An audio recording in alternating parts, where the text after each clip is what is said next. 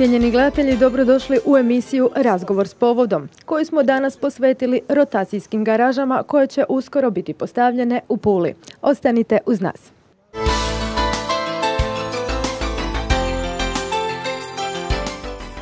Koncem godine u Pulu stižu tri montažne rotacijske garaže visoke 14,5 metara.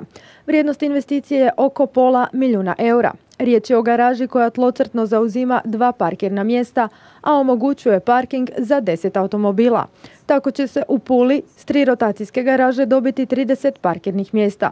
Lokacija na kojoj će garaže biti postavljene je parkiralište na Marsovom polju iza zgrade Kroacije.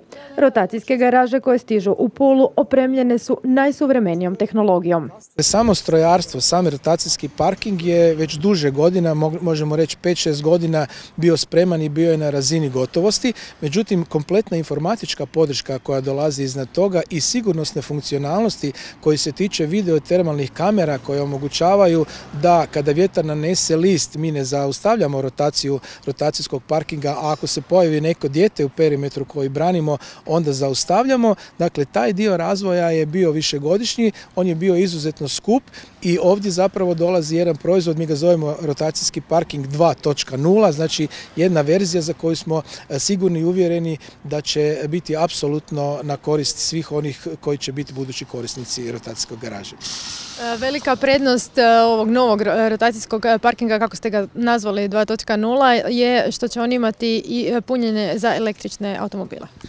Tako je, dakle, obzirom na porast broja električnih automobila, ako želite imati proizvod koji je e, modern i koji je okrenut budućnosti, morate osigurati mogućnost punjenja električnih automobila.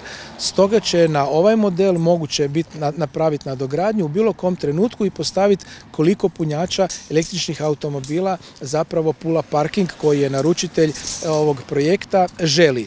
E, što se nas tiče, moguće je na ovdje idu modeli od 10 parkirnih mjesta, napraviti na jednom e, rotacijskom parkingu bilo koji broj e, mogućnosti punjenja električnih automobila, samo je stvar kapaciteta struje koju možete dovesti na ovu lokaciju. Spomenuti sustavi već postoje u svijetu i svi se sastoje od čelične strukture, električnog motora te lanca i zupčanika. No posebnost ovog rješenja je u centralnoj osi koja paralelno pokreće dva zupčanika postavljena na suprotne strane a koji su zaduženi za okretanje automobila. Dodatna prednost ovih garaža je što je riječ o montažnim objektima za čije je postavljanje potrebno četiri dana te se iste mogu vrlo jednostavno preseliti na drugu lokaciju. Znači mi trebamo četiri dana za montažu jednog rotacijskog parkinga kada su pripremljeni temelji. Prednost ovog rješenja je zapravo u tome što samo izvođenje od trenutka završetka natječaja dopuštanja u realizaciju je moguće napraviti u 120 dana tu naravno koliko vam treba za čeli, koliko vam treba za neke druge dijelove, ali 120 dana je značajno manje od bilo kojeg klasičnog rješenja i klasične garaže. Dodatno, mi imamo tipski projekt koji je ishođen na ovom modelu, što znači da radimo prema pravilniku o jednostavnim građevinama. To pak znači da je čitava procedura pojednostavljena i zato je to moguće napraviti u ovako kratkom roku.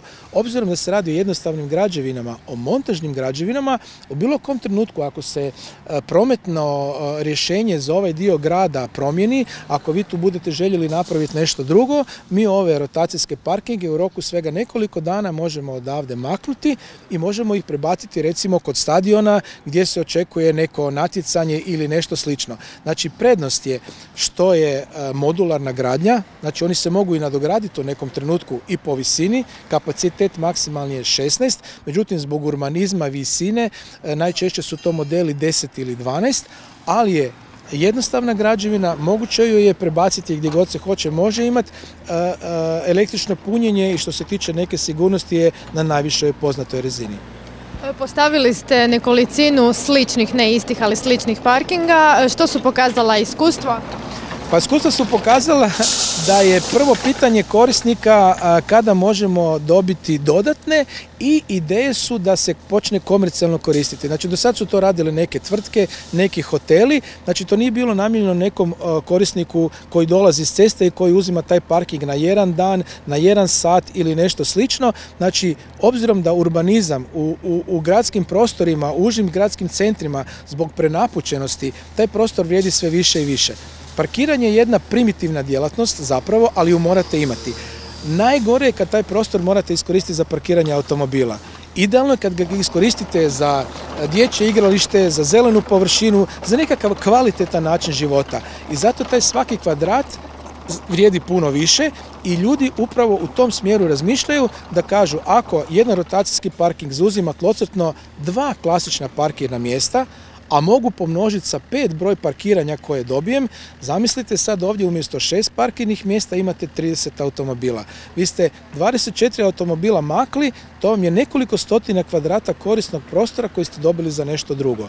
Da li je to unutar kvarta i kvartovskih garaža, što je jedan od projekata o kojem se razgovara u Zagrebu, kad bi bila želja upravo u onim kvartovima koji su najčešće neiskorišteni postaviti unutar rotacijske parkinge, a zbog patentiranog planetarnog reduktora i sustava i načina na koji mi dižemo i vrtimo aute, motor koji je nama potreban ovdje je duplo manji i duplo slabiji od bilo kakve konkurencije. Znači mi ovdje radimo sa 10 kW, kad imate nekoliko komada ta zaštita i na samoj energiji koja je potrebna za funkcioniranje rotacijskih parkinga postaje značajna, a dodatno i smanjuje buku.